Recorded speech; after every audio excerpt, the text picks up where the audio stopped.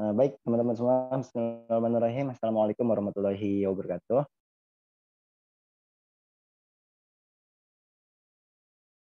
Waalaikumsalam warahmatullahi wabarakatuh.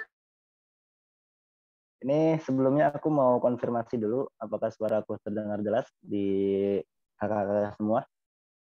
Terdengar. Wah, mantap. Alhamdulillah. Uh, baik, alhamdulillah. Syahadu la ilaha illallah, Rasulullah.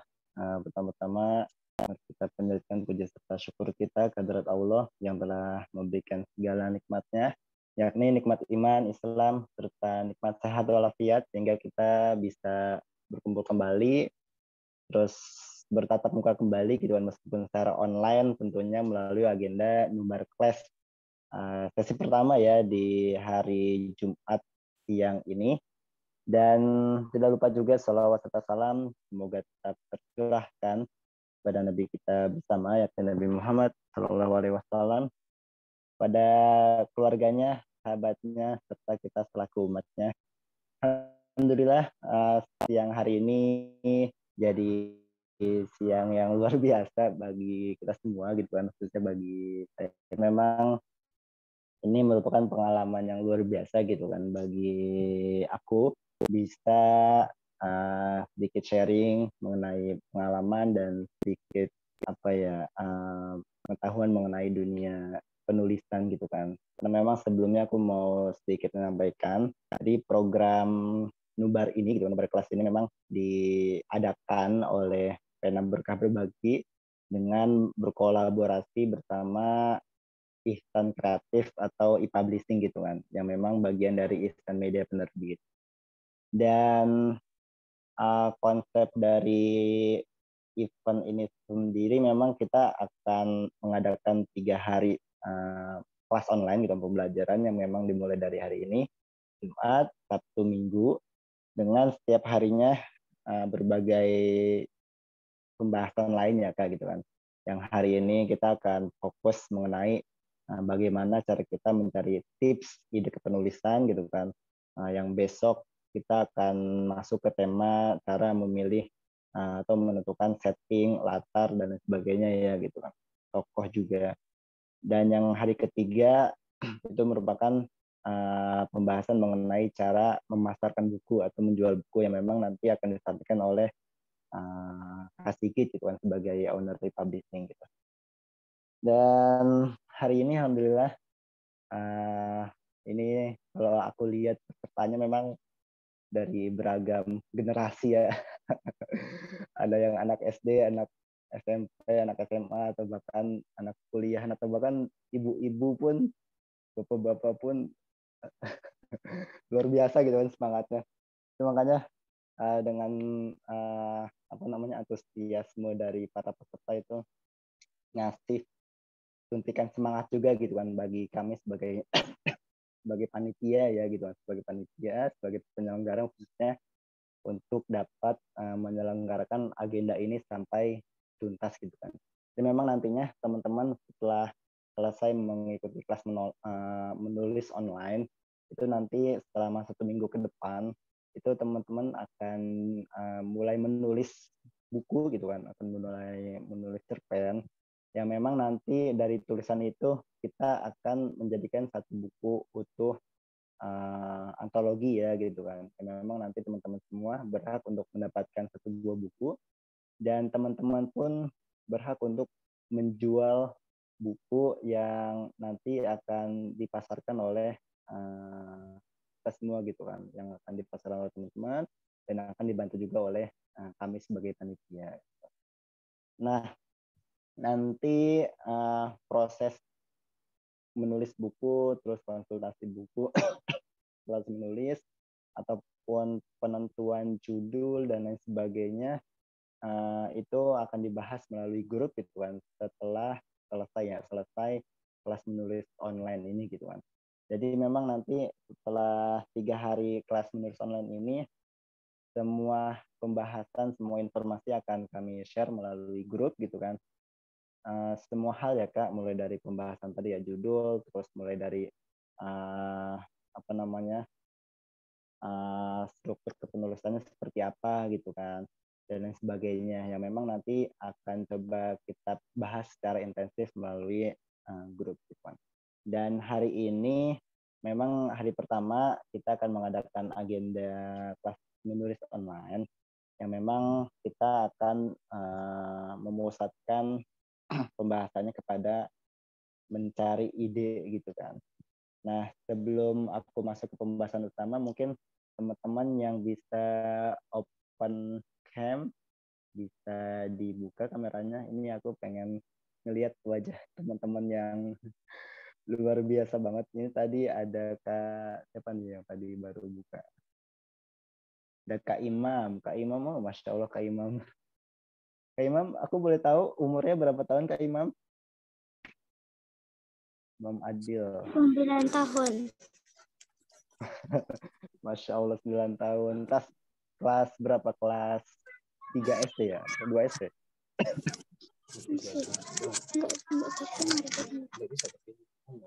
Kelas berapa? Kak Imam? Kelas 3. Kelas 3. Di mana sekolahnya?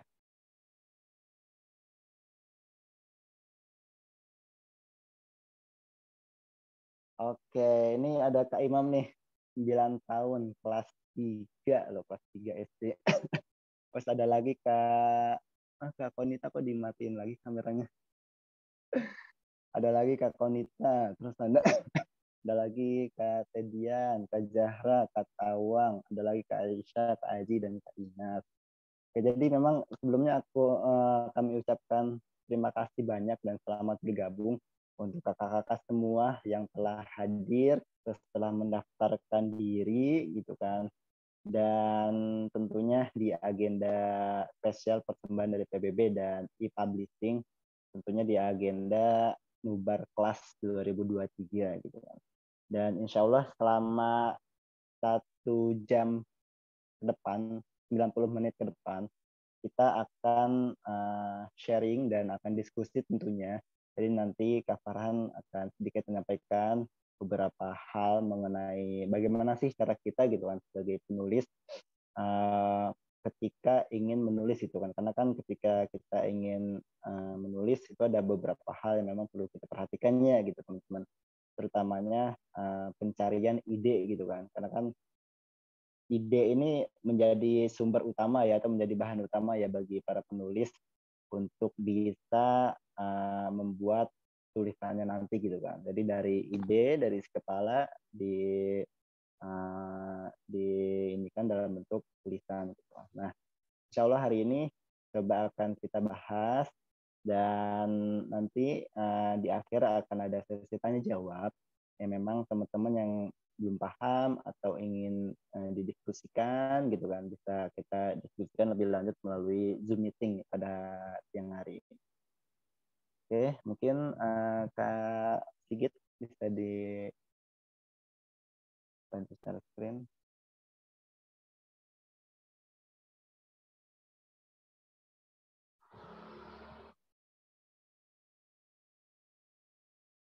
Oke, teman-teman. Jadi memang tadi yang sudah aku sampaikan. Jadi ini uh, jadi sesi pertama. Kita nanti akan ada sesi dua dan sesi ketiga gitu kan. Dan uh, insya Allah sesi pertama ini kita akan mencari cara atau tips dan trik mencari ide tulisan gitu kan. Karena tadi yang sudah Kafaran sampaikan ya di awal gitu sebelumnya bahwa memang uh, kita ingin membuat sebuah karya gitu kan. Kita ingin membuat sebuah tulisan kita ingin membuat sebuah apalagi ya gagasan gitu kan. Ya memang ide tulisan menjadi sumber utama ya dalam hal uh, penentuan tokoh nantinya ya. Terus uh, mencari latar belakang terus sudut pandang dan sebagainya gitu kan. Nah ide tulisan inilah jadi uh, kalau menurut aku menjadi sumber yang penting gitu kan karena ini menjadi menjadi pintu utama lah gitu Islam menjadi pintu utama menjadi pintu pembuka untuk kita bisa menulis dan menentukan berbagai uh, tulisan lainnya. Nah, next kak. Sebelumnya aku pengen uh, sedikit memperkenalkan diri gitu kan. Karena aku juga baru kenal sama teman-teman gitu kan dan teman-teman juga baru kenal aku. Jadi sebelumnya perkenalkan nama aku uh, Kak Farhan Ramadan. Teman-teman bisa panggil aku Kak Farhan. Aku lahir di Bogor 14 Desember 2001. Uh, pendidikan sekarang sedang menempuh S1 di Sekolah Bangsa Darul Quran dan aktivitas saat ini uh, sebagai mahasiswa tingkat akhir semester 8 di kampus Pendidikan Terbangsa sebagai penulis buku juga terus uh, sebagai content writer sebagai penulis berita di beberapa media online dan sebagai founder di Pena Berkah Berbagi. Oke, next. Nah,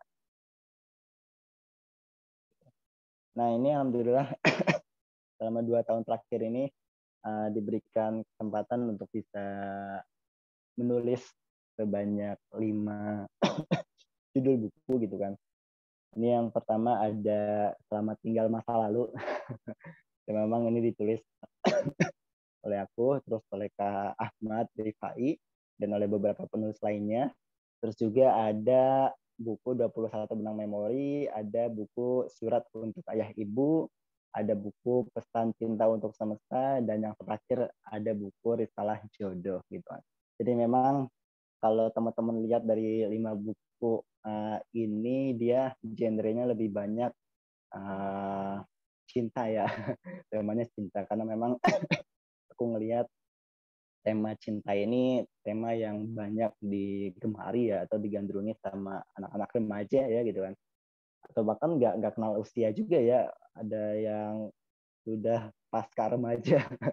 Pasca remaja masih suka nulis uh, ide-ide tentang percintaan gitu kan. Atau bahkan tadi kayak kak Imam yang masih 9 tahun uh, punya ide tentang cinta gitu kan mungkin bisa cinta ke orang tua cinta ke uh, rasa cinta ke guru gitu kan rasa cinta ke kakak atau adik itu kan bisa dideskripsikan dalam bentuk uh, tulisan nantinya gitu kan karena memang kita kalau ingin memaknai cinta itu cukup luas juga cakupannya.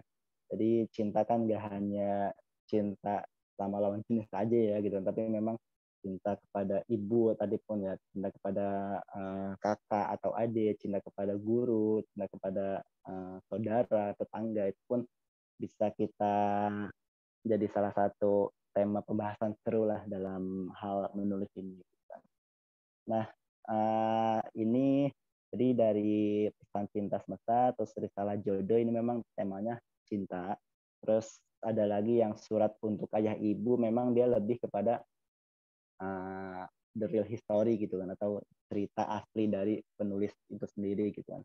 Nah, aku ketika pengalaman nulis buku surat untuk ayah ibu ini memang lebih kepada pengalaman aku ya, pengalaman spiritual aku dan pengalaman uh, kedekatan aku gitu kan dengan orang tua ya, baik itu ibu ataupun ayah ya.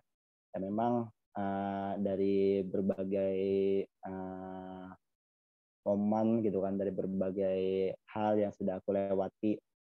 Udah berapa tahun? 21 tahun kali ya. Udah 21 tahun gitu kan di umurku sekarang.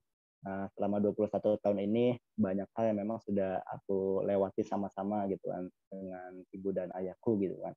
Memang dari 21 tahun ini banyak cerita, banyak hal yang memang bisa aku deskripsikan ya. Nah, salah satu wadahnya adalah saat itu aku ikut project uh, nulis, apa nulis surat untuk ayah ibu gitu kan. Yang di mana ini aku waktu itu ngangkat cerita mengenai pengalaman aku uh, ketika masa-masa remaja gitu kan masa remaja kan itu masa-masa masa-masa kita nyari jati diri ya teman-teman ya lagi masa-masa SMA gitu kan masa-masa SMA di mana masa-masa di uh, kita nyari pengalaman nyari hal yang memang menurut kita unik gitu kan. Nah di situ aku mendapatkan pengalaman dan pembelajaran yang luar biasa banget gitu kan dari orang tua khususnya dari ibu ya gitu kan. Bagaimana sentuhan ibu uh, dalam hal pendidikan anaknya terus dalam hal kasih sayang anaknya terus dalam hal uh, apa ya uh, kecintaan yang luar biasa gitu kan untuk anaknya. Itu sangat sangat besar sekali teman-teman untuk uh, anak-anak ya gitu kan. Dan peran ayah pun begitu besar ya gitu kan. Jadi selain selain peran ibu dalam hal mendidik peran ayah pun untuk mendidik anak-anaknya pun sungguh besar ya gitu kan. Dan itu yang memang aku rasakan teman-teman selama 21 tahun ini bagaimana peran ibu dan ayahku gitu kan itu mendukung sekali dalam hal proses perkembangan terus dalam hal proses uh, pendidikan aku sampai saat ini ya gitu. nah makanya aku menuliskan kisah tersebut di dalam buku ini gitu kan. Terus ada lagi 21 benang memori. Nah, memang 21 benang memori ini buku pertama atau buku perdana dari buku antologiku gitu kan. Ini terbit tahun 2020 kalau saya 2020 yang memang uh, 21 benang memori ini mengangkat kisah dari 21 penulis gitu kan.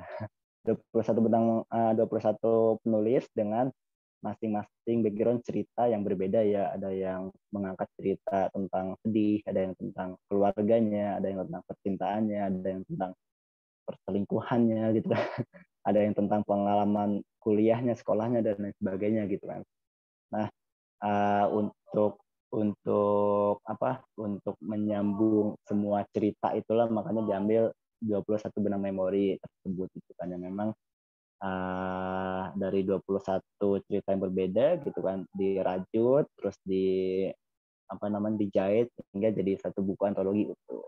Nah ini satu lagi ada buku tentang uh, selamat tinggal masa lalu gitu kan. Ini memang uh, buku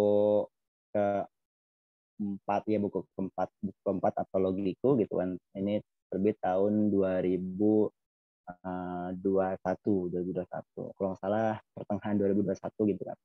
Ini memang dia lebih kepada self improvement ya atau pengembangan diri gitu kan. Jadi banyak juga anak-anak muda dan juga ya kita kita juga anak-anak remaja gitu kan yang memang dia uh, masih sulit untuk bisa move on ya dari masa-masa percintaan SMP-nya atau bahkan percintaan SMA-nya atau bahkan sulit move on sama mantannya gitu kan.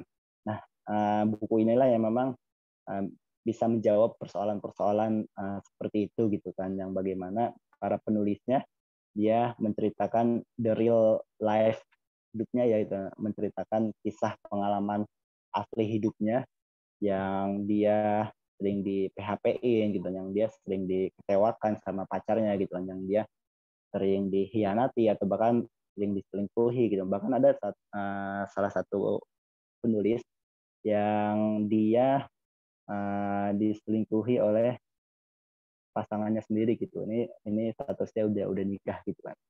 Nah, itu kan lebih lebih dramatis tuh ketika ditulis gitu kan. Nah, uh, aku pengennya gitu juga teman-teman. Jadi uh, nanti ketika proses menulis itulah gitu kan. Memang proses-proses uh, kejadian yang sudah kita alami dalam hidup kita itu jadi salah satu sumber inspiratif dan sumber kita dalam hal mencari ide gitu. Nah ini untuk uh, aktivitasku menulis lima buku antologi. Selanjutnya kak.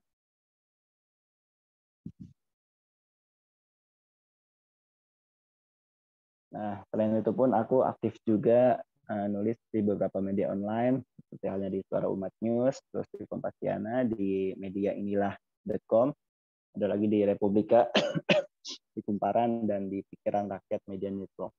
Jadi memang selain aku aktivitas sebagai content writer uh, di di tempat lain gitu kan di salah satu uh, perusahaan VNB terus selain mahasiswa tingkat akhir aku pun aktif juga nulis uh, freelance di di enam media ini gitu kan.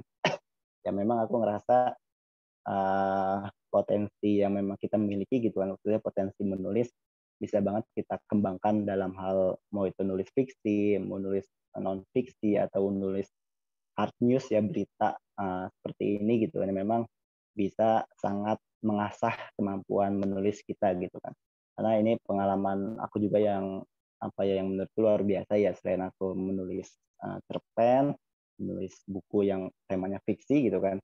Aku pun uh, belajar juga atau mendapatkan pengalaman juga uh, dari menulis berita ini gitu kan. Karena kan cara struktur kepenulisan kan beda ya antara nulis berita dengan nulis uh, cerpen gitu kan.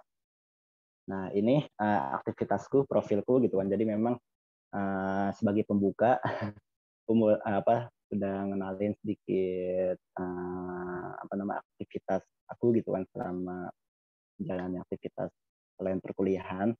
Dan memang uh, insya Allah di sana kita insya Allah uh, kita akan membahas mengenai bagaimana sih uh, cara bulan kita gitu kan.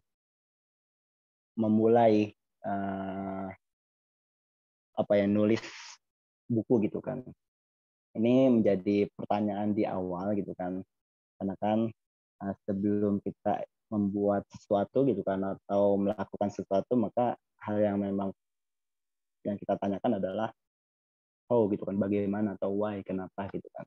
Nah, dalam hal ini kita ingin nanya nih kepada diri kita sendiri gitu kan bagaimana sih cara kita memulai uh, project ini memulai uh, menulis buku ini gitu nah apa aja yang memang perlu kita lakukan gitu kan nah di sini aku mau ambil tiga hal uh, penting uh, yang memang tiga proses inilah yang nantinya akan kita lalui bersama-sama ya teman-teman ya gitu kan. Mulai dari teman-teman mencari proses kreatifnya gitu kan. Terus mulai dari teman-teman melakukan langkah-langkahnya gitu. Jadi terus uh, mulai dari menuliskannya gitu kan. Jadi sebelum teman-teman melakukan langkah-langkahnya, teman-teman harus tahu dulu nih proses kreatifnya seperti apa sih gitu kan. Proses kreatif yang termasuk tadi ya ide terus uh, brainstorming gitu kan. Terus pencarian informasi dan lain sebagainya gitu kan. Nah dari bahan-bahan itulah gitu kan dari bahan-bahan sumber yang teman-teman sudah dapatkan uh, itu nanti dikembangkan lagi atau istilahnya dalam uh, bahasa sederhananya nah dimasak lagi gitu kan dimasak lagi biar biar lebih enak gitu kan melalui berbagai uh, step by stepnya gitu. Nah nanti setelah proses kreatif yang teman-teman sudah dapat, terus langkah-langkahnya pun sudah teman-teman lakukan, dan nanti nah, tahap akhirnya adalah teman-teman mulai menuliskan semua ide, semua gagasan yang ada di kepala teman-teman gitu kan dalam bentuk uh, tulisan. Nah, uh, kita dalam melewati tiga tahapan ini teman-teman nggak akan di apa dilepas begitu aja gitu kan karena memang kita sudah komitmen dari awal kita akan mengadakan konsultasi secara intensif ya. Uh, intensif setiap harinya gitu kan. Jadi kalau teman-teman semua ingin bertanya atau mengalami kesulitan dalam hal menulis nantinya gitu kan. Itu kita dari panitia bersedia dan siap untuk membantu teman-teman semua dalam hal mencari uh, proses kreatif, terus mencari langkah-langkah dan mulai uh, menuliskan cerita-cerita kreatif dari teman-teman semua. Oke, next kak. Nah, ini hal yang pertama bisa kita lakukan proses kreatif. Jadi memang proses kreatif uh, sangat penting ya teman-teman jadi teman-teman kalau mau uh, bertanya kepada siapa pun itu penulisnya gitu kan, mau itu penulis pemula atau penulis uh, produktif atau penulis profesional sekalipun gitu kan. Suaranya hilang kak.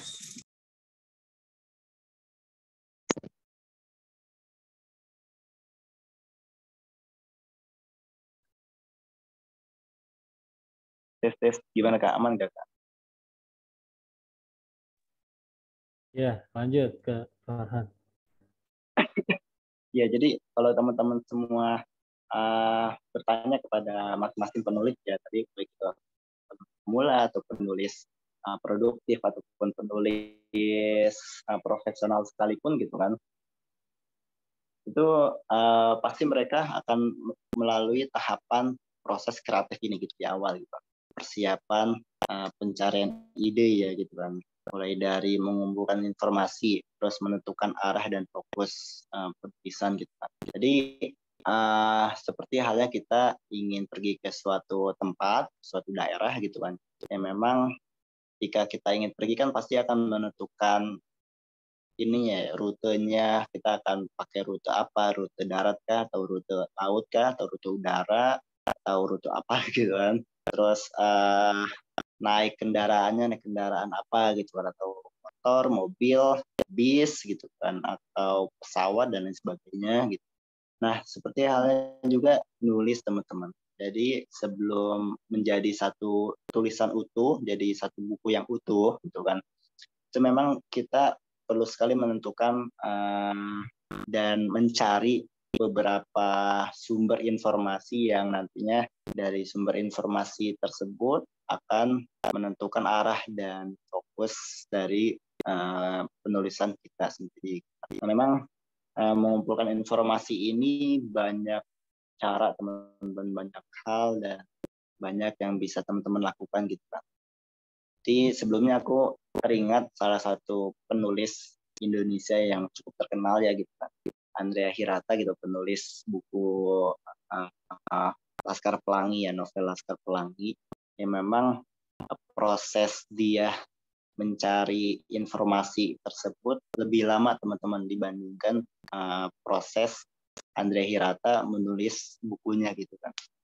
Jadi istilahnya kalau dipersentasekan itu cari informasi atau cari bahan gitu kan itu sekitar 90 persen 90 persen uh, lamanya ya 10 persennya ya nulis gitu. karena proses uh, jadi ketika kita sudah menemukan dan sudah banyak mendapatkan ide tulisan gitu kan atau informasi lain sebagainya gitu kan itu nantinya proses teman-teman nulis gitu kan uh, nulis uh, ceritanya itu akan lebih mudah ya dibandingkan teman-teman langsung nulis tanpa harus mencari sumber-sumber informasi dan sebagainya.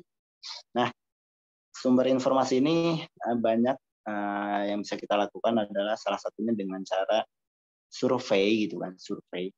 Jadi teman-teman ketika kita ingin memulai sebuah uh, menulis buku gitu kan, mungkin survei jadi salah satu kegiatan utama yang bisa kita lakukan ya dalam hal mencari informasi gitu kan atau mengumpulkan informasi gitu kan. Misalkan aku pengen nulis uh, cerpen atau novel mengenai apa mengenai uh, sejarah sejarah Jakarta misalkan. Nah ini kan cukup cukup unik juga gitu kan. Nah, bagaimana cara aku bisa uh, menemukan sumber-sumber informasi mengenai sejarah Jakarta, gitu kan. mulai dari apa budayanya, gitu, mulai dari masyarakatnya, mulai dari apalnya lagi pakaiannya gitu kan tariannya dan sebagainya gitu kan memang uh, hal-hal tersebut bisa kita dapatkan bisa kita lakukan dengan cara survei gitu. Nah survei proses survei ini pun bisa dilakukan uh, melalui dua cara ya teman-teman. Baik itu offline maupun online gitu kan. Jadi dalam hal ini teman-teman kalau memang ingin lebih merasakan nantinya mendapatkan informasi yang lebih utuh gitu kan itu bisa datang langsung ke sumbernya gitu kan secara offline tadi ya datang langsung. Misalkan kita ingin mengetahui sejarah Jakarta dari sisi uh, uh, apa bangunannya gitu kan bangunan rumahnya ya memang bangunan tradisionalnya ya gitu.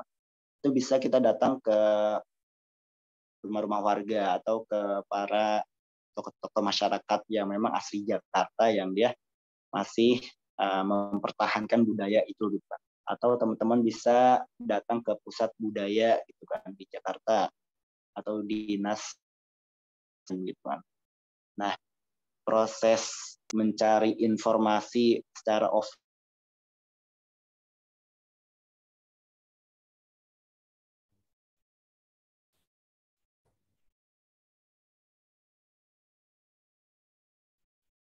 Uh?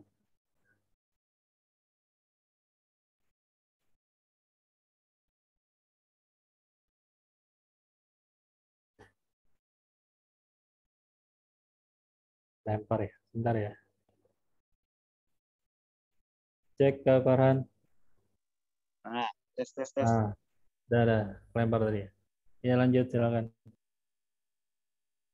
Ya, jadi proses pencarian informasi dengan cara kita datang langsung ke tempatnya itu itu salah satu hal yang bisa kita lakukan ya jika ingin uh, mulai proses kreatif tersebut gitu kan karena dengan hal uh, kita datang langsung ke tempatnya itu akan banyak informasi yang bisa kita dapatkan teman-teman mengenai tadi ya sejarah Jakarta terus asal mula uh, apa rumah adatnya seperti apa terus budaya masyarakatnya seperti apa gitu kan nah ada lagi proses mencari informasi secara online gitu kan. Jadi teman-teman nggak uh, nggak harus keluar rumah terus datang ke berbagai tempat untuk nyari informasi tersebut gitu kan.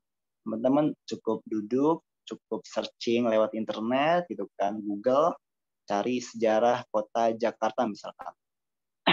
Itu akan banyak tuh informasi-informasi mengenai sejarah kota Jakarta tadi ya. Gitu kan. Nah, ini pun sama dengan halnya teman-teman yang nantinya akan uh, menulis buku gitu kan, menulis uh, fiksi terkait tersebut. Ya memang uh, mencari informasi yang akan teman-teman gunakan atau akan teman-teman masukkan dalam uh, cerita terkait yang teman-teman tulis nanti itu sangat penting teman-teman gitu.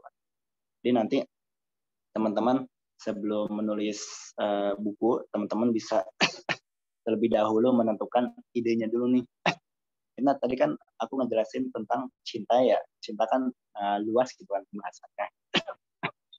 nah, nah mungkin bisa teman-teman uh, kerucutkan kembali gitu kan arti cinta menurut teman-teman masing-masing gitu kan.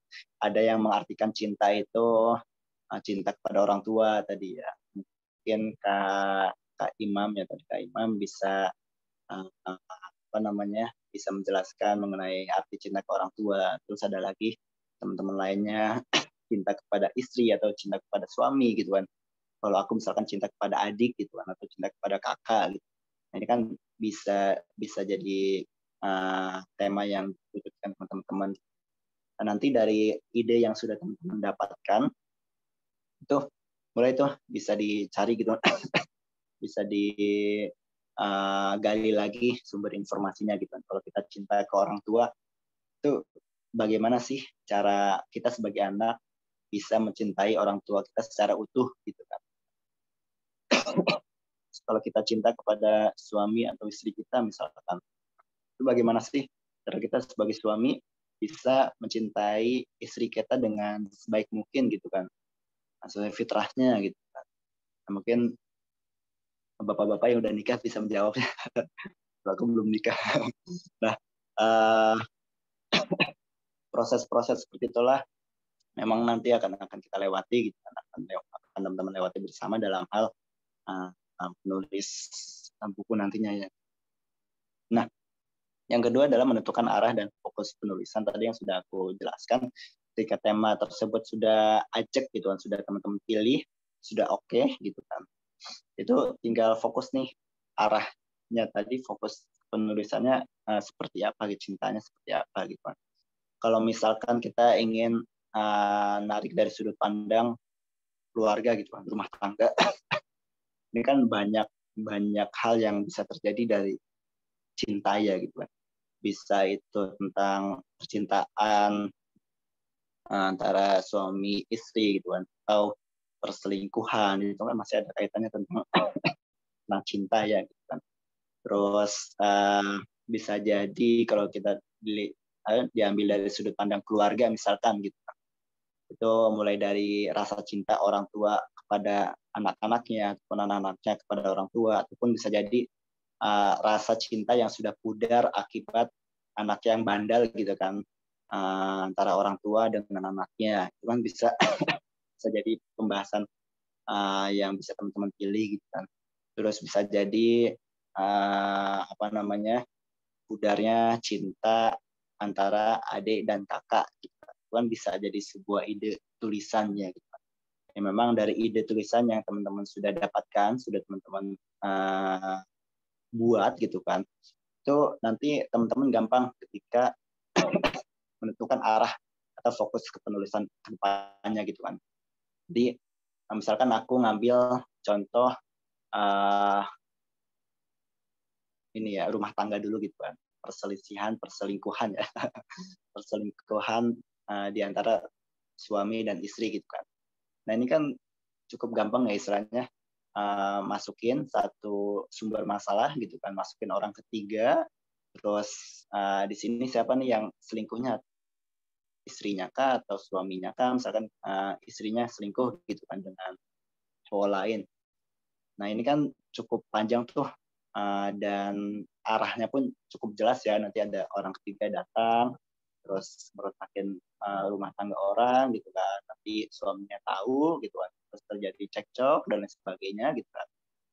Terus uh, nanti di situ arahnya mau pecar apa penceraian atau atau mau ke arah uh, apa balikan lagi dan sebagainya gitu kan ini cukup beragam juga uh, itu dari hal rumah tangga dari keluarga pun teman-teman bisa nyari dari sudut pandang hubungan kakak adik gitu hanya awalnya baik tiba-tiba karena ada satu dua hal yang tentangan jadi berantem gitu kan atau hubungan uh, persahabatan gitu kan ini kan teman-teman pasti punya sahabat ya dan teman-teman pasti punya cerita unik uh, selama menjalin persahabatan dengan teman-teman nah ini bisa jadi sumber utama atau ide kita dalam hal nantinya menulis dan dari ide tersebut uh, dapat menentukan arah dan fokus kita. Nah, yang kedua adalah draft. Jadi memang ketika teman-teman sudah menentukan ide, sudah menentukan garis besarnya, latar belakangnya, itu teman-teman uh, langkah selanjutnya adalah membuat konsep atau rancangan dasar ya atau outline gitu kan bahasa bahasa sederhananya outline. Ini kalau teman-teman nanti nulis novel gitu kan itu kan ada perbabnya ya bab satu bab dua bab tiga bab empat dan sebagainya. Nah bab satu mau bahas apa nih gitu. bab dua mau bahas apa? Bab tiganya mau bahas apa gitu kan? Nah kalau kita uh, ke novel dulu kan, kan nah, kalau novel kan dia lebih lebih lebih panjang dan dan lebih banyak ya gitu kan jadi kita fokus ke cerpen dulu yang memang uh, secara konsep, secara rancangan dasar nggak sebegitu banyak dan nggak sebegitu apa ya uh, luas cakupannya dibandingkan dengan novel. Jadi ketika teman-teman sudah menentukan ide tulisan cerpen yang nantinya akan teman-teman tulis, itu teman-teman bisa juga nih mulai bikin coretan ya, mulai bikin coretan konsepnya rancangan dasarnya nanti misalkan uh, penokohannya seperti apa gitu kan. Terus teman-teman mau ngambil berapa tokoh terus dari masing-masing tokoh itu punya karakteristik seperti apa gitu kan. Ataukah protagonis atau antagonis atau antagonis semua atau protagonis semua gitu kan.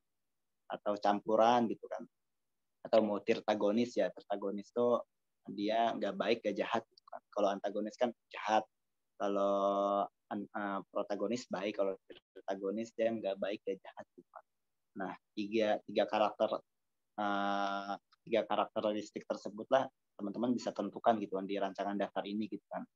Uh, dari beberapa tokoh yang nantinya akan teman-teman masukkan dalam cerita teman-teman itu bisa teman-teman uh, apa namanya ya teman-teman tentukan gitu kan tokoh satu karakternya seperti apa tokoh dua karakternya seperti apa tokoh tiga karakternya seperti apa gitu kan Nah, konsep-konsep dasar uh, atau rancangan dasar inilah yang memang nantinya akan memudahkan teman-teman semua. Gitu. Nah, di draft ini pun nantinya akan masuk kepada penentuan latar gitu kan, penentuan tempat, terus penentuan waktu dan lain sebagainya gitu kan. Yang memang semuanya jadi rancangan dasar ya. Nah, dalam hal ini nanti hal-hal seperti itu akan akan aku jelasin besok gitu kan. Jadi hari ini kita coba fokus di cara idenya dulu. Nah, yang ketiga adalah uh, mencari titik terang atau titik pokok yang sedang dibahas atau dibicarakan. Jadi teman-teman sebisa mungkin untuk uh, menonjolkan gitu kan atau memunculkan hal-hal unik yang memang sedang teman-teman bahas atau teman-teman bicarakan di tulisan tersebut gitu kan. Misalnya apa sih yang ingin teman-teman sampaikan melalui cerita tersebut gitu kan. Kalau misalkan Kak Imam ingin menulis mengenai cerita uh, orang tua gitu kan, cinta kepada ibu dan ayah gitu. Kan. Nah, pesan yang ingin Kak Imam sampaikan adalah pesan kita sebagai anak mesti hormat gitu kan, mesti taat, mesti uh, itu ya mesti taat kepada orang tua gitu kan apa pun itu itunya gitu. Dan ini jadi jadi pokok pembahasan yang memang bisa jadi salah satu apa ya keunggulan tersendiri gitu kan bagi tulisan teman-teman sendiri gitu. Karena yang para pembaca inginkan adalah pasti mencari pokok pembahasannya gitu terangnya gitu dari tulisan yang sudah ditulis sama kita gitu kan apa sih yang ingin disampaikan gitu kan? Apa sih yang ingin dibahas gitu kan? Apa sih yang ingin dibicarakan oleh kita sebagai penulis? Nah uh, jadi dari proses persiapan mencari uh, informasi terus menentukan arah membuat draft gitu kan terus uh, mencari titik terang tiga tiga proses kreatif inilah uh, bisa teman-teman pikirkan gitu kan dari sekarang Nah, bagaimana proses-proses dan uh, apa namanya ide-ide yang memang sudah teman-teman buat gitu kan, itu nantinya dituangkan dalam hal tulisan gitu kan, atau verifikasi gitu. Jadi uh, enak teman-teman ketika teman-teman sudah menyiapkan semua bahan gitu kan, ketika teman-teman sudah menyiapkan semua informasi, semua rancangan dasar, semua outline yang sudah teman-teman buat gitu kan, itu ketika teman-teman mulai menulis gitu kan, mulai menulis di laptop itu akan lebih uh, mudah ya dalam hal berpikir atau dalam hal mencari uh, imajinasi atau uh, membubui ya, membumbui uh, apa namanya tulisannya gitu kan. Nah empat empat langkah proses kreatif inilah yang nantinya akan kita coba lakukan bersama-sama gitu dan tentunya dengan pendampingan dari kita ya sebagai uh, panitia. Selanjutnya kak.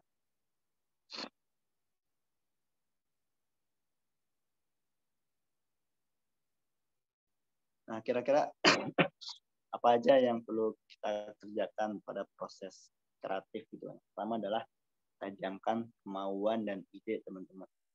Jadi kalau kita sudah menemukan ide besarnya gitu kan, itu nggak nggak nggak cukup hanya melalui ide ide ide dasarnya aja ya atau istilahnya ide mentahnya gitu kan. Misalkan tadi teman-teman sudah dapat uh, ide mengenai cinta kepada uh, orang tua atau cinta kepada suami istri gitu kan. nah itu kan nggak nggak hanya berhenti di ide tersebut ya, tapi dengan kita mengambil tema cinta keluarga, tema cinta rumah tangga, itu kan banyak tuh cakupannya gitu kan. Eh, banyak cabangnya gitu kan.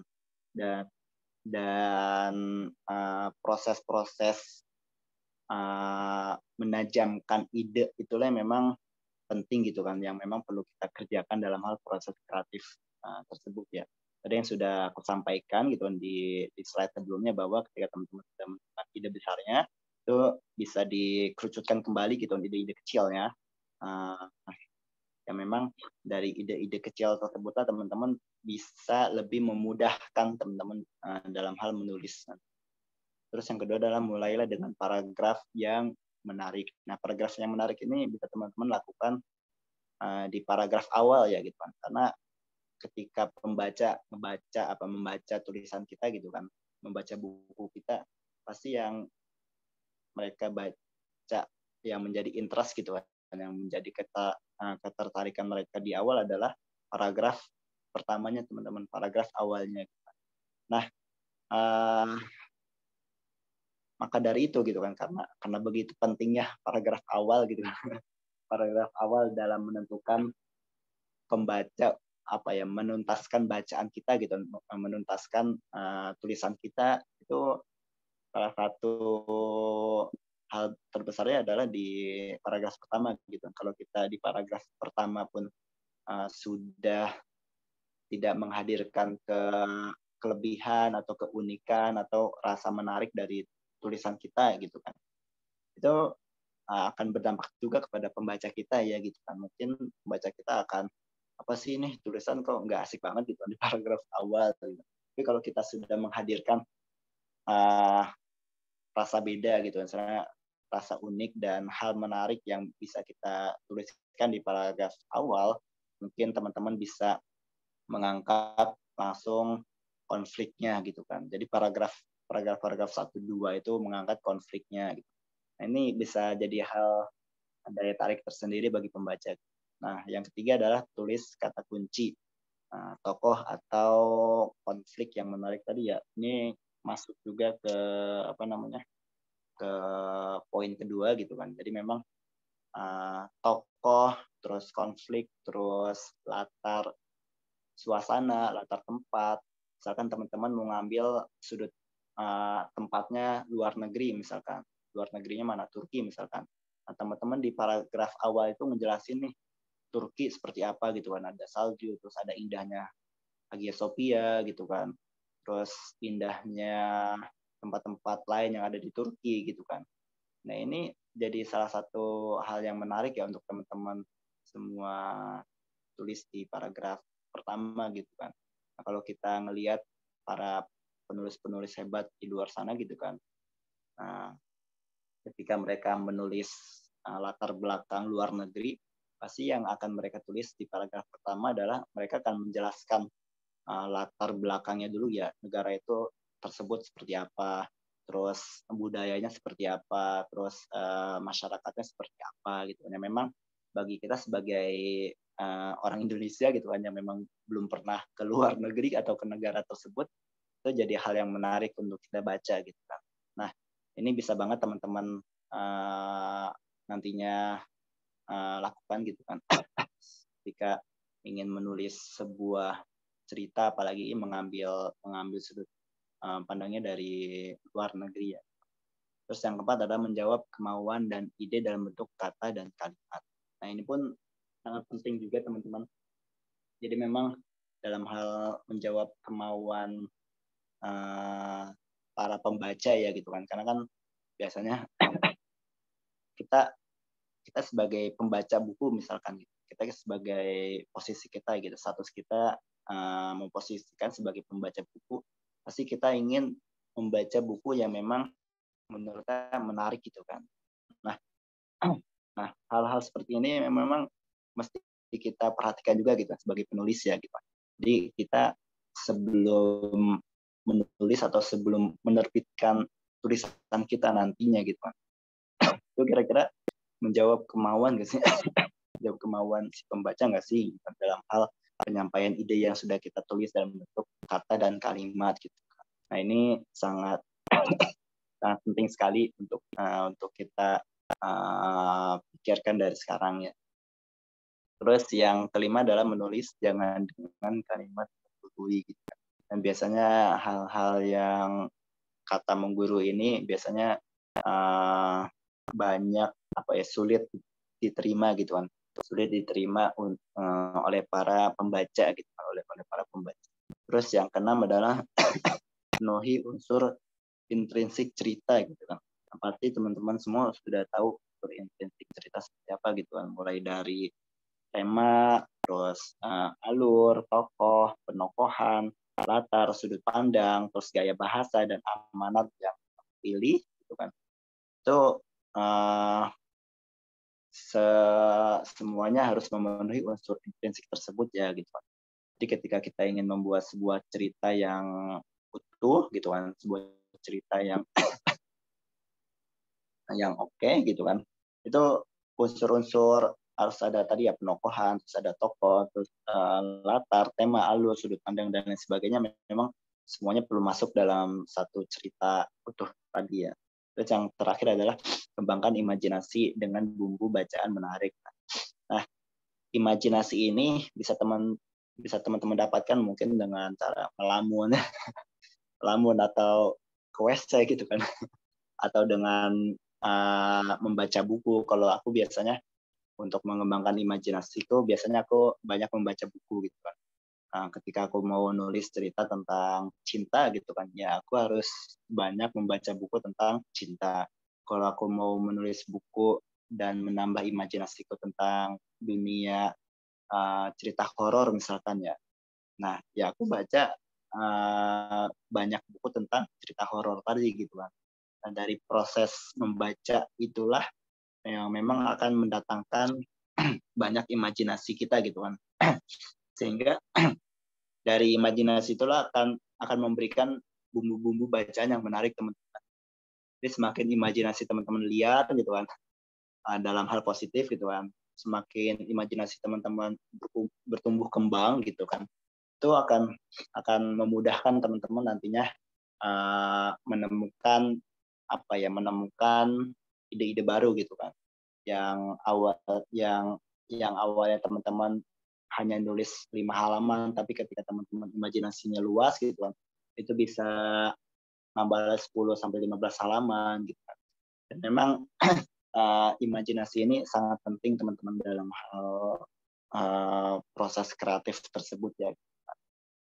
Nah, tujuh poin inilah yang memang uh, nantinya uh, ada pada proses kreatif kita dalam hal menulis ya gitu kan. Dan tujuh poin inilah uh, yang di mana mereka saling keterkaitan teman-teman semuanya gitu dan memang uh, dari tujuh poin inilah kita bisa mengacu gitu kan pada tulisan yang nantinya akan kita tulis apakah uh, cerita yang kita tulis tersebut itu sudah mencakup ide kita terus unsur intrinsik kita gitu kan sudah uh, mencakup konflik yang menarik gitu kan atau ada kalimat yang menggurui dan sebagainya nah ini uh, proses kreatifnya. Selanjutnya, kasih Nah, terus bagaimana cara kita mendapatkan ide gitu? Nah, di slide selanjutnya, Kak. Ini pertanyaan bagaimana ide dapat diperoleh. Nah, ini teman-teman yang paling mudah, teman-teman. Jadi, tiap manusia kan pasti memiliki lima indera ini ya, atau five senses. Mulai dari mata, telinga, uh, perasaan, terus penciuman, perabaan gitu kan, atau uh, apa um, ngecap gitu merasakan uh, lidah gitu kan. Nah sebetulnya proses mencari ide ini sangat mudah sekali teman-teman. Kalau kita mampu mengaktifkan lima panca indera ini gitu kan. Jadi ketika kita uh, ingin menulis sebuah cerita gitu kan dan kita belum menentukan idenya atau belum menemukan idenya gitu kan itu kita bisa banget dengan menggunakan panca indera yang sudah Tuhan berikan kepada kita gitu kan ya memang panca indera tersebut bisa menjadi sumber informasi atau menjadi sumber ide kita dalam hal menulis ya misalkan kita dapat menulis karena uh, melihat gitu kan. Jadi apa yang kita lihat gitu kan itu bisa jadi sumber ide dan sumber informasi yang bisa kita tulis ya gitu kan. Misalkan teman-teman uh, uh, misalkan hari ini nih hari ini teman-teman sedang melihat uh, aku menyampaikan ide gitu kan, eh, menyampaikan materi. Nah, kalau teman-teman mampu menggunakan media penglihatan ini untuk dijadikan sebuah ide, itu bisa banget teman-teman. Atau teman-teman ketika pergi ke suatu tempat, ketika pergi ke suatu daerah misalkan uh, ke sebuah desa lah gitu uh, terpelosok di Indonesia gitu. Jadi yang akan teman-teman gunakan uh, pertama adalah panca indera mata kan untuk melihat pemandangan-pemandangan yang ada di sana gitu kan. Terus pemandangannya ada apa aja, apakah ada gunung atau ada pohon juga, ada sungai, ada hutan dan lain sebagainya gitu kan. Terus uh, dari kerja dari dari peristiwa tersebut kejadian apa aja memang teman-teman lihat gitu kan. Ini bisa banget jadi sebuah sumber sebuah sumber ide tulisan gitu kan. Karena uh, aku pun ketika ingin menulis buku gitu kan atau menulis berita sekalipun itu pasti panca indera lah yang jadi proses penting proses penting aku mencari ide tulisan ya gitu kan. Apalagi kan kalau kita uh, nulis hard news ya berita berita yang yang langsung diterbitkan saat itu juga gitu kan. Maka kita harus uh, melihat gitu kan melihat berita kejadian tersebut Nah, sama halnya dengan teman-teman juga ketika ingin tulis fiksi atau non fiksi ya proses panca indera melihat inilah menjadi proses utama ya dalam hal uh, dari ide gitu. Terus yang kedua adalah menulis karena mendengar teman-teman. Jadi selain melihat dengan cara mendengar pun teman-teman bisa menca apa ya bisa mendapatkan ide tulisan teman-teman. Misalkan uh, teman-teman uh, mendengar percakapan antara kakak adik gitu kan atau ayah ibu gitu kan ketika kumpul sama keluarga di meja makan gitu kan itu kan ada berbagai proses panca indera yang teman-teman pakai ya mulai dari melihat teman-teman melihat kakak adik atau melihat ibu bapak gitu kan sedang kumpul di meja makan. Terus teman-teman mendengar apa yang mereka ucapkan apa yang mereka obrolkan gitu kan. Terus teman-teman semua apa ya uh, merasakan merasakan uh, makanannya seperti apa gitu kan. Terus teman-teman mampu meraba istilahnya merasakan makan menggunakan tangan seperti apa terus teman-teman mampu uh, mengetahui bau makanan seperti apa gitu kan. Nah sebetulnya di lingkungan meja makan pun yang lingkungan yang kecil gitu kan ketika kita mampu menggunakan kemampuan lima panca indera ini untuk menemukan ide itu sebuah hal yang luar biasa banget teman-teman. Bahkan kalau kita kreatif gitu kan itu uh, satu apa ya lima menit di meja makan 10 menit lah 10 menit di meja makan gitu kan kumpul sama keluarga itu bisa jadi cerpen yang panjang tuh. Jadi cerpen yang panjang gitu teman-teman uh, mampu mendeskripsikan apa yang teman-teman lihat gitu kan. Teman-teman mampu mendeskripsikan apa yang teman-teman dengar. Teman-teman mampu mendeskripsikan makanan yang teman-teman uh, makan atau teman-teman rasakan gitu kan. Terus teman-teman mampu mendeskripsikan makanan apa yang teman-teman uh, baui gitu kan rasa rasanya seperti apa gitu kan. Karena kan setiap masakan pasti beda tuh rasanya gitu kan. Nah proses-proses uh, seperti itulah yang memang um, bisa kita dapatkan secara mudah ya teman-teman ketika kita aktif menggunakan lima panca indera. Terus ada lagi uh, terus ada lagi ini ada pertanyaan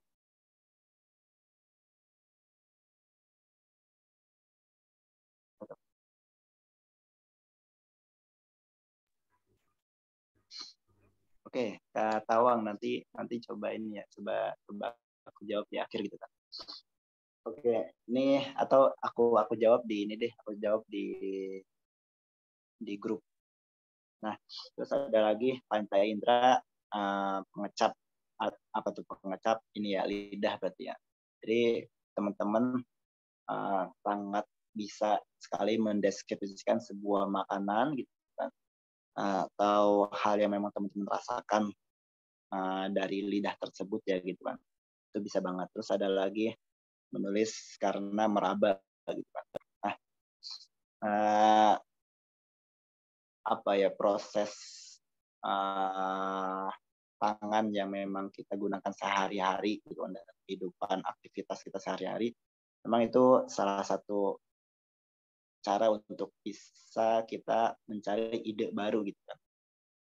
Nah, misalkan uh, teman-teman jika teman-teman pergi ke suatu daerah gitu kan dan ingin mengetahui bentuk suatu benda itu seperti apa gitu kan itu kan ada proses meraba gitu kan nah proses meraba itulah teman-teman jadi tahu gitu kan untuk uh, benda itu seperti apa terus uh, uh, Nah, ininya seperti apa.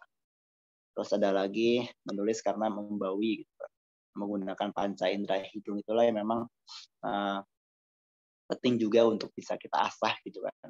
Karena tanpa sat, apa ya tanpa salah satu panca indera yang yang tidak kita gunakan itu nantinya uh, kita kesulitan gitu kan. Karena aku menganggap lima panca indera ini sangat saling keterkaitan teman-teman.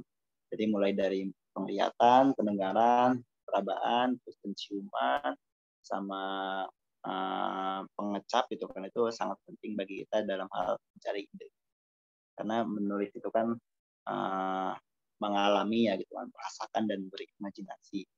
dan dan tulisan yang paling mudah untuk kita tulis adalah ya pengalaman pribadi kita gitu kan pengalaman yang sudah terjadi dalam diri kita uh, momen-momen apa saja yang memang sudah terjadi dalam diri kita nah dan dari pengalaman itulah yang memang bisa teman-teman tulis gitu kan. Dan itu yang paling yang aku aku kira paling mudah ya ketika kita ingin menulis sebuah cerita kita pengalaman pribadi kita gitu kan. Daripada kita harus menulis uh, apa namanya cerita orang lain biografi orang lain atau kita ingin menulis mengenai sejarah sebuah negara atau sebuah kota gitu kan. Itu kan akan lebih banyak proses yang bisa kita lakukan nah next uh, Sigit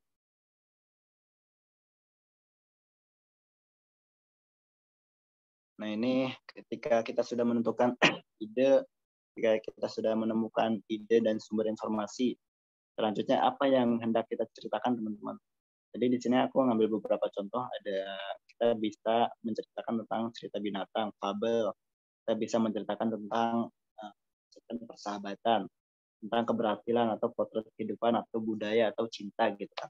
Jadi hmm, teman-teman kalau punya ide lain gitu kan, uh, itu bisa banget dikembangkan dan bisa banget diliarkan apa namanya uh, imajinasinya gitu kan. Ketika teman-teman menulis mengenai cerita binatang fabel gitu kan.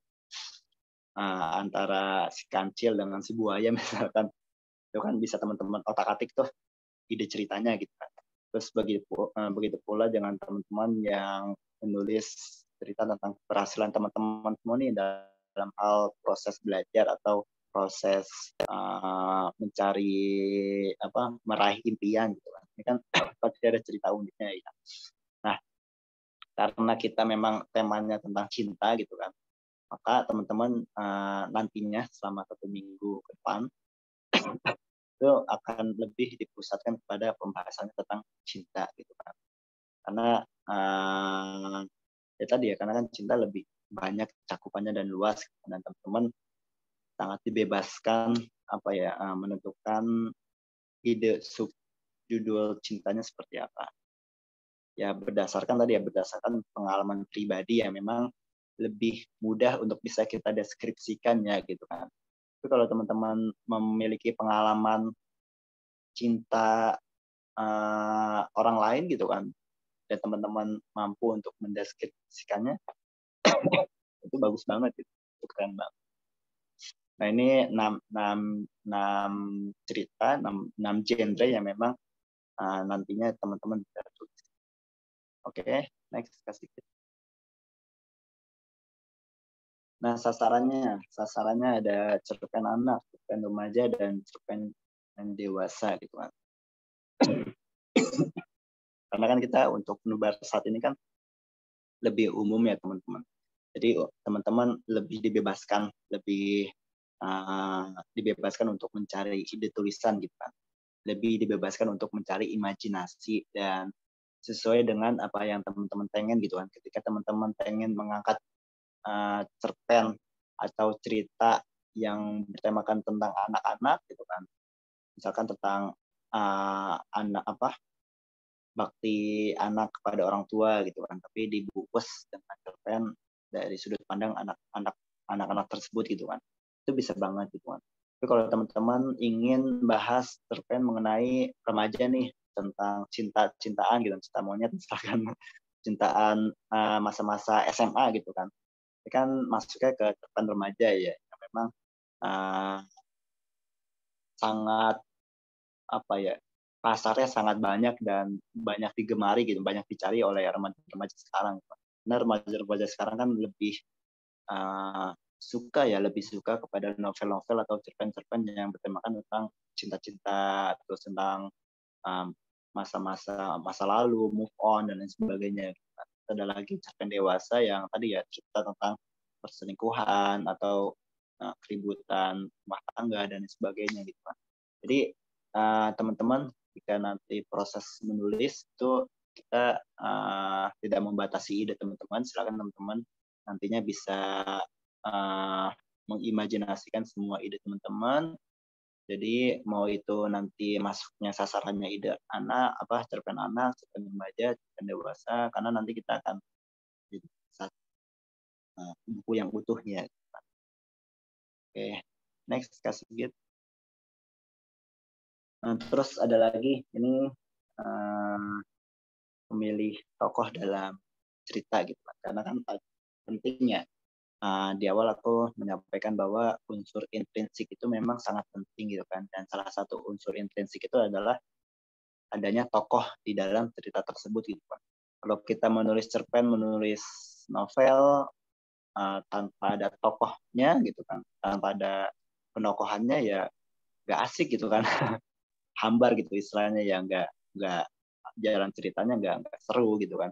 Tapi kalau kita mampu uh, menghadirkan tokoh yang dari tokoh itu punya karakteristik yang masing-masing gitu kan. Ada yang tokohnya karakteristiknya tadi antagonis, eh, protagonis atau tirtagonis sekalipun itu akan jadi sebuah cerita yang seru teman-teman. Dan memang tokoh cerita sebaiknya berkarakternya berbeda atau uh, buat penulisku dan harus unik kan. Dalam hal kalau teman-teman uh, menghadirkan dua tokoh dengan memiliki dua sifat yang sama gitu kan. Baik semua misalkan itu kan enggak enggak enggak seru ya. Tapi kalau teman-teman menghadirkan dua tokoh dengan yang satunya jahat, yang satunya baik gitu kan. Itu kan sebuah jadi sebuah cerita yang uh, unik dan memiliki ketertarikan tersendiri gitu bagi para pembacanya. Nah, terus pun uh, selain itu contoh karakter yang uh, dapat dikenali di sekitar kita. Gitu.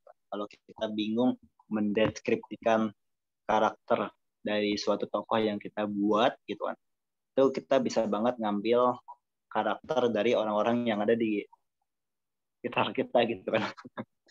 Jadi kalau kalau kita memiliki teman yang jahat gitu kan, misalnya ya suka ngebully, ya udah pakai karakter dia aja untuk masukin uh, apa penokohannya sebagai protagonis gitu atau sebagai orang yang suka ngebully gitu kan.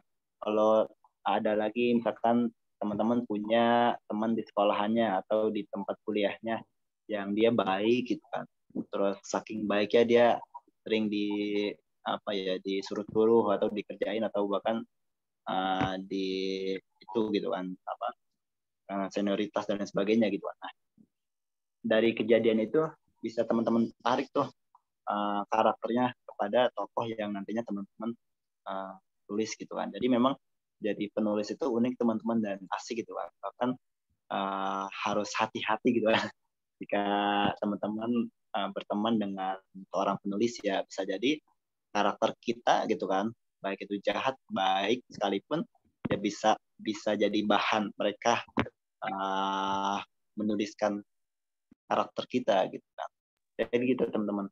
Jadi uh, kalau memang kita mengalami kesulitan dalam hal mencari tokoh dan cerita itu teman-teman uh, bisa ngambil karakter lah dari orang-orang terdekat baik itu orang tua ataupun teman dan sebagainya Terus yang terakhir adalah tentukan tokoh yang akan menjadi protagonis dan antagonis dalam cerita ya. Jadi yang sudah aku sampaikan di awal ya gitu kan. Jadi uh, apa ya memasukkan orang-orang jahat dan orang-orang baik dalam sebuah cerita itu jadi hal uh, unik tersendiri gitu kan dan dapat menghadirkan suasana baru dalam hal tulisan tersebut gitu kan. Karena kalau kita mampu menghadirkan konflik dan konflik itu memang berasal dari orang antagonis ya orang jahat tersebut memang uh, jalan ceritanya akan berbeda gitu kan. Terus alurnya akan berbeda set tempatnya akan berbeda terus uh, ya ceritanya akan berbeda gitu kan. Hanya karena peran protagonis atau antagonis yang teman-teman masukin dalam cerita tersebut jadi memang tiga poin ini bisa jadi acuan untuk kita uh, nantinya uh, menulis atau memasukkan karakter pada tokoh yang akan kita tulis. Oke, okay. next kasih gitu. Nah, di manakah cerita itu terjadi? Nah, latar cerita uh, boleh terjadi di mana saja teman-teman.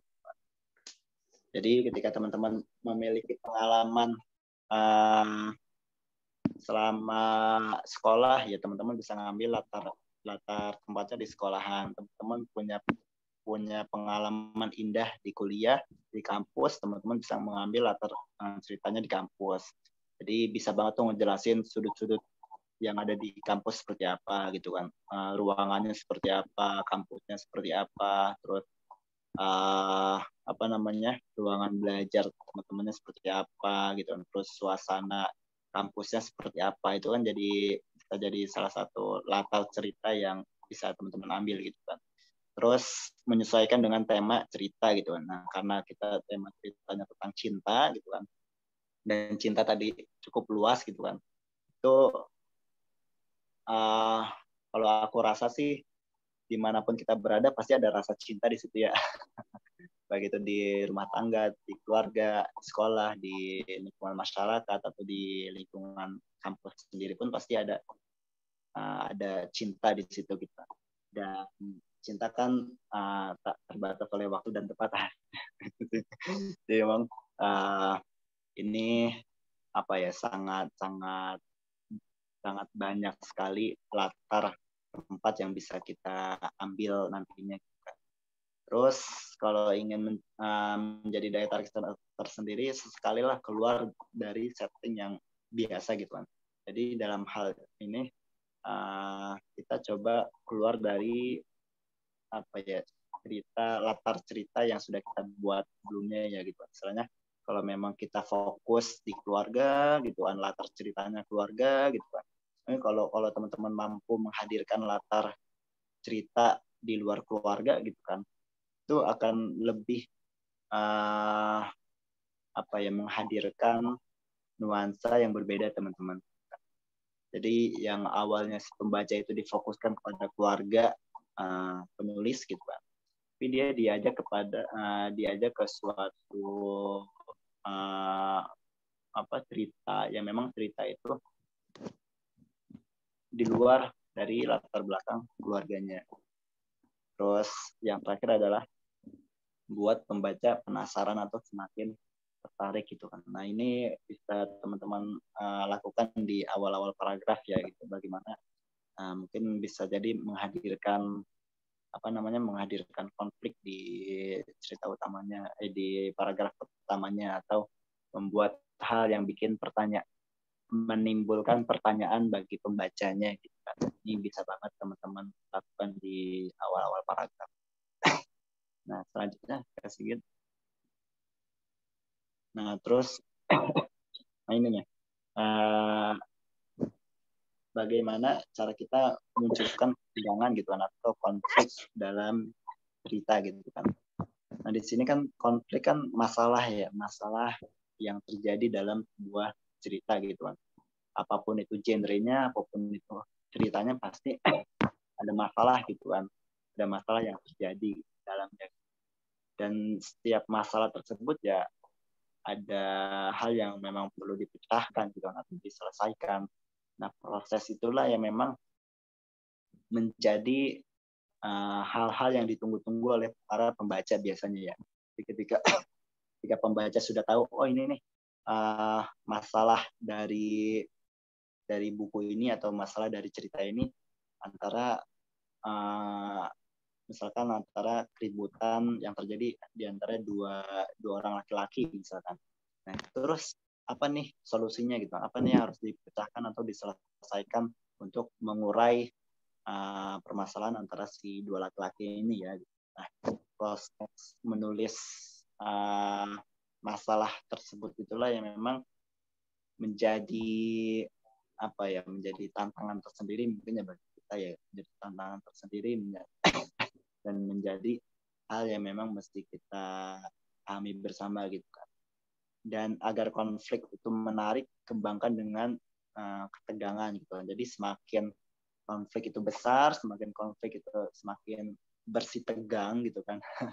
Semakin apa ya semakin ribut lagi keributannya semakin besar maka konflik itu akan lebih menarik teman-teman Jadi kalau kita eh, baca novel-novel uh, terkenal gitu kan novel-novel cinta atau novel lainnya pasti dengan uh, satu orang yang dihadirkan dalam cerita itu akan mampu menghadirkan konflik yang besar gitu kan.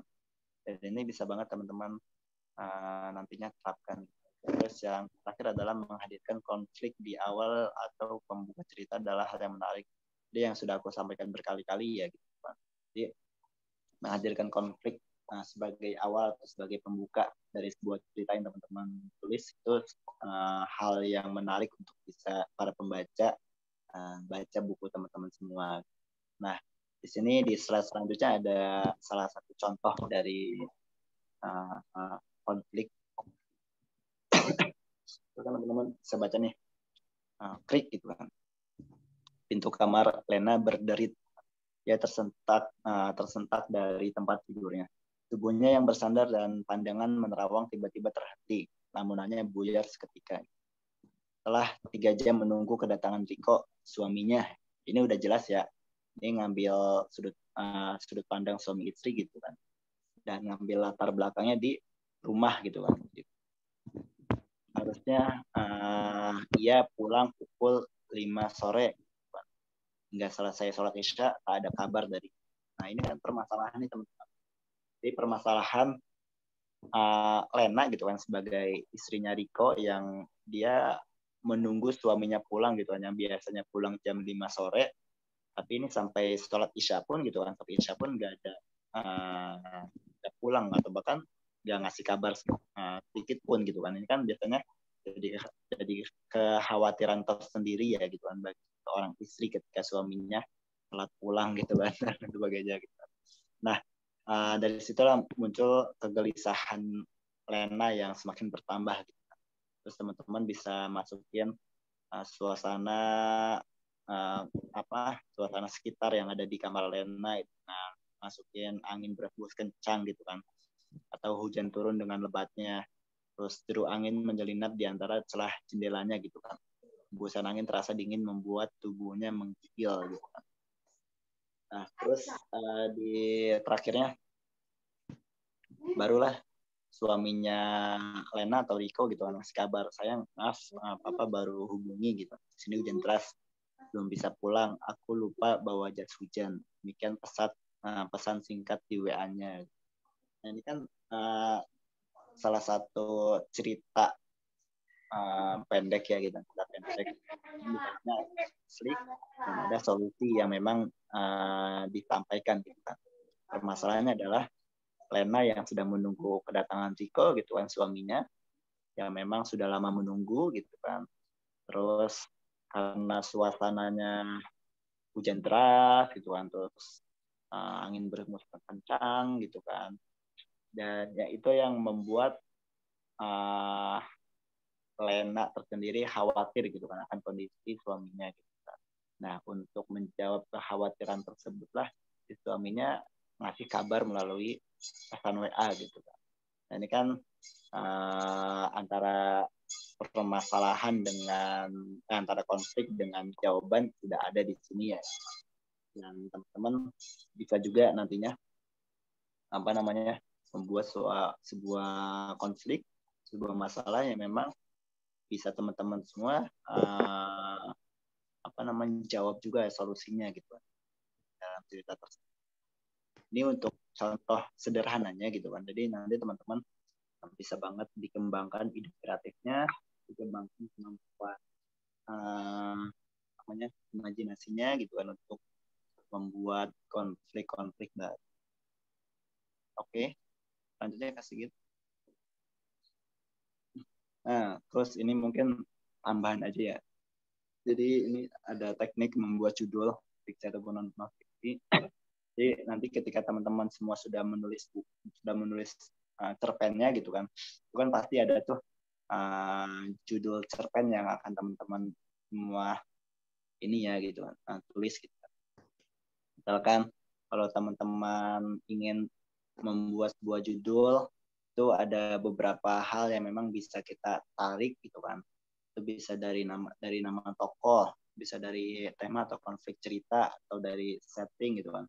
Terus bisa dari ceritanya bisa jadi peristiwa bisa dari tanda atau semiostik yang memang enam poin ini bisa jadi sumber kita dalam hal membuat judul gitu kan. Misalkan jika ini ada ada ada contohnya ya jika kita ingin uh, mencari atau membuat judul dari nama tokoh. Ini bisa nih situ Nurbaya namaku Hiroko gitu kan ini kan menjelaskan si Hiroko ya Hiroko yang yang bisa jadi dia cinta ke Situ Nurbaya gitu kan. Yang ingin mengenalkan dirinya kepada Situ Nurbaya. Terus ada lagi yang kedua tentang tema atau konflik cerita. Salah asuhan kata. Salah asuhan.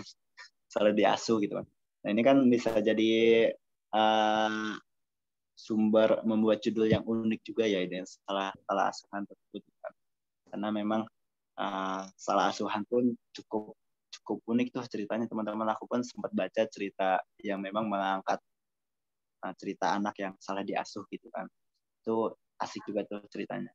Terus ada lagi ngambil uh, referensi dari setting di kaki bukit Cibalak gitu kan kalau teman-teman semua mengambil uh, sudut pandangnya di kampus atau di kampung halaman teman-teman atau di sekolah atau di tempat kerja gitu kan itu bisa banget setting yang teman-teman masukin di cerita uh, tersebut itu jadi sebuah uh, judul tersendiri gitu kan ada lagi isi ceritanya liburanku bercerita liburan gitu kan. jadi uh, isi ceritanya tentang liburan ya judulnya tentang liburan juga no problem ya.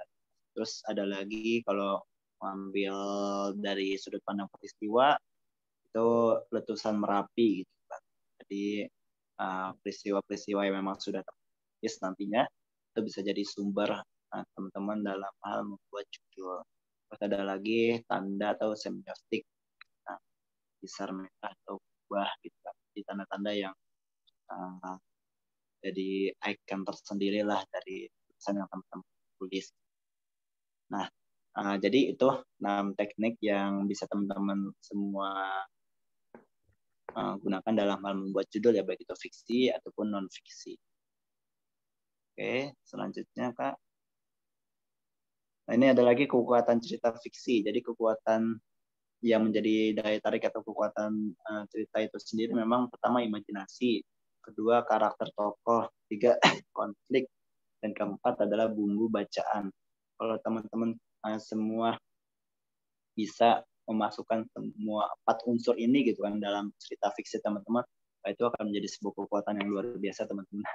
Kekuatan cerita teman-teman akan lebih apa ya akan akan banyak pembacanya gitu kan dan pembacanya pun akan akan lebih nyaman dan ingin terus membaca gitu kan.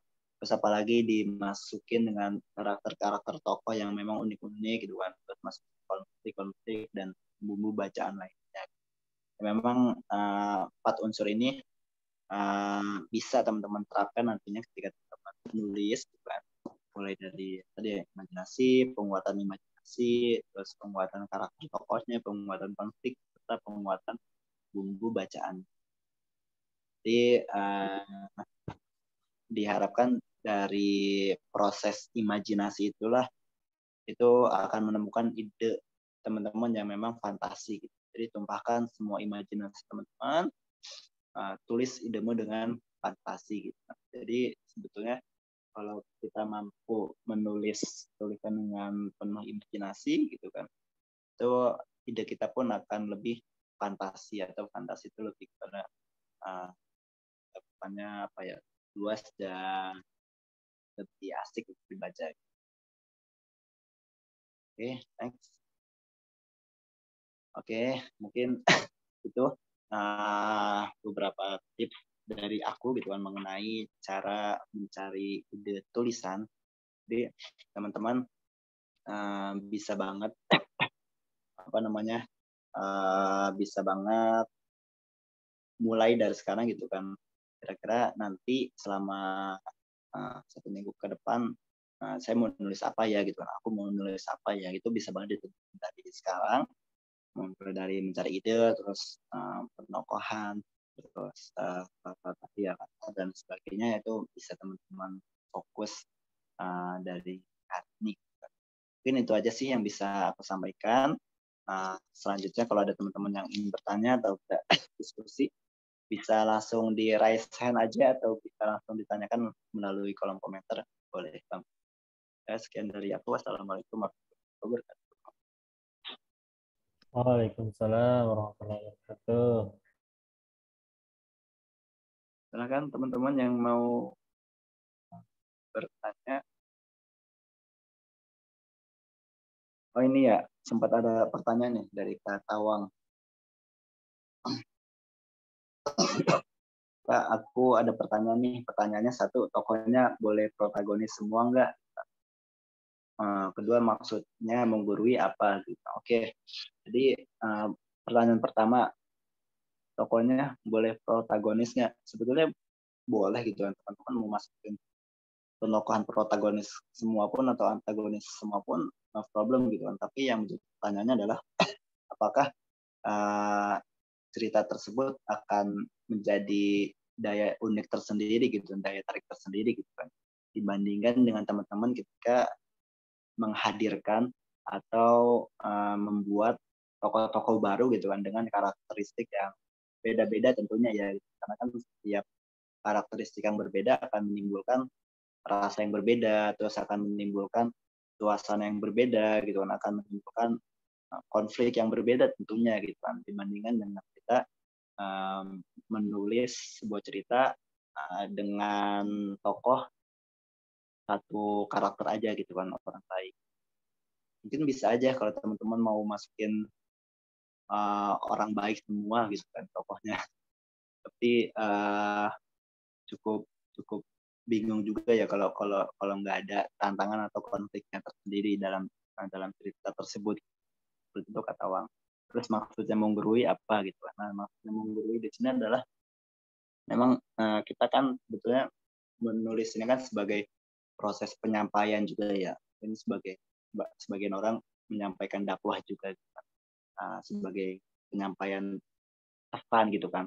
Kira-kira apa sih pesan yang ingin, kita sampaikan kepada pembaca gitu kan.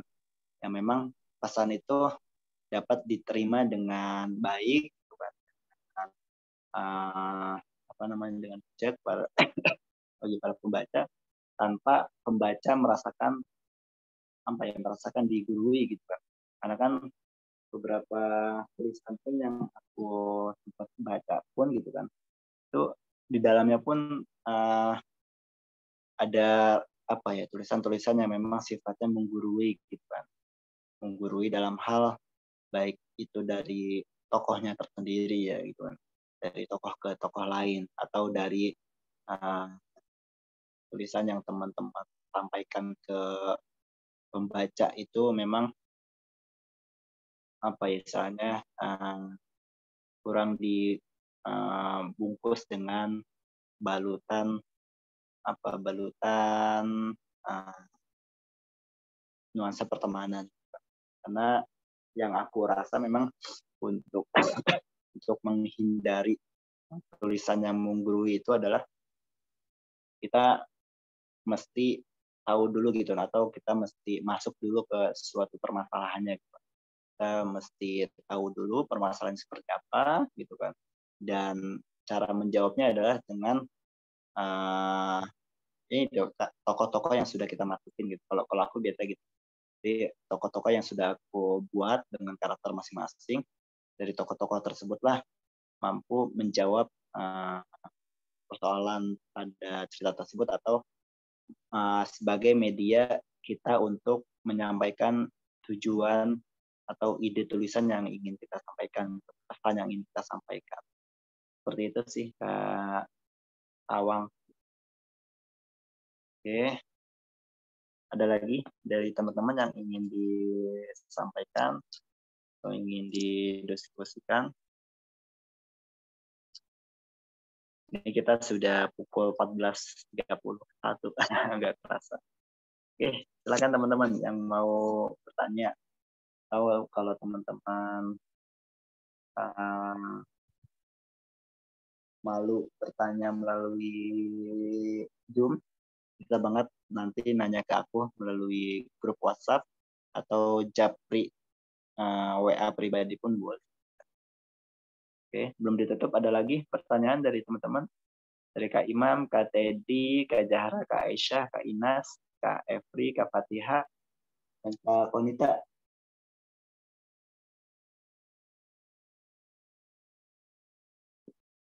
Jadi itu ya teman-teman. Jadi aku uh, mau menyampaikan sekali lagi gitu uh, proses mencari ide memang sangat penting sekali teman-teman. Sebelum nantinya teman-teman menentukan latar, menentukan uh, sudut pandang, itu menentukan penokohan alur dan sebagainya gitu kan. Dan dan proses-proses mencari ide itulah mencari apa ya hal-hal yang sebetulnya mudah kita lakukan gitu kan hanya dengan menggunakan panca indera dan pengalaman hidup kita pun bisa menjadi salah satu sumber uh, ide kita dalam sebuah uh, penulisannya gitu. Mungkin itu sih. Jadi aku uh, ingatkan sekali lagi untuk teman-teman semua tetap semangat gitu kan tetap uh, apa kalau mengalami kesulitan atau ingin didiskusikan bisa banget kita diskusikan melalui grup atau bisa chat di aplikasi panitia terus uh, karena proses kita masih ada beberapa tahapan gitu kan. Besok ada tahapan menulis uh, sama aku juga. Terus di hari ketiga ada proses eh proses uh, cara memasarkan buku yang akan disampaikan sama publishing. Terus juga nanti ada proses uh, teman-teman menulis. Terus nanti ada proses penentuan judul judul buku ya. Terus penentuan milih cover dan sebagainya gitu sehingga uh, eh, harapannya gitu di awal-awal bulan Mei itu bukunya udah udah siap terbit. Oke, sebelum ditutup ada pertanyaan dari teman-teman semua.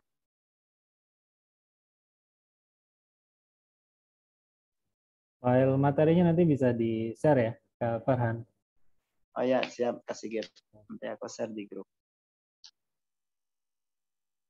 Oke. Mungkin uh, karena sudah pukul 14.30 gitu kan. Sebelum kita akhiri, aku minta ini dulu dong, dokumentasi dulu. Jadi untuk teman-teman semua yang hadir hari ini, sebatnya kita foto bersama dulu. Bisa dibuka kameranya di open cam, Imam, Kak Teddy, Kak Zahra, Kak Aisyah, Kak Inas, Kak Fitri, Kak Fatihah, dan Kak Konita.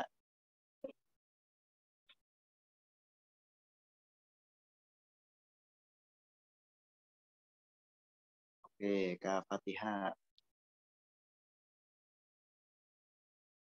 Di Kak Fatihah teman online tuh ini. Oke, Kak Fatihah, Kak Teddy, Kak Teddy, Kak Zahra, Kak Aisyah. Jangan mereka lagi pada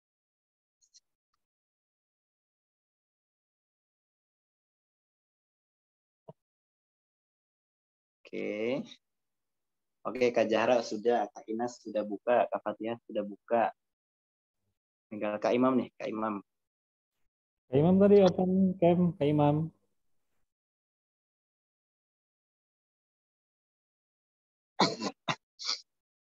Ternyata ketika dibuka kameranya wajahnya imut-imut ya. Ini usia-usia yang cukup jauh juga di Malaysia. Ah, luar biasa semangat menulis teman-teman semua. Kak Imam, oh Kak Imam, Bunda, oh Bunda. Ini Bunda Imam.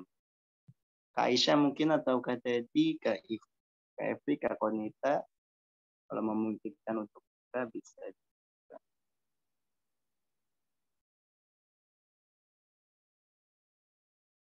Mungkin kita yang ada dulu aja ya kasih gitu ya.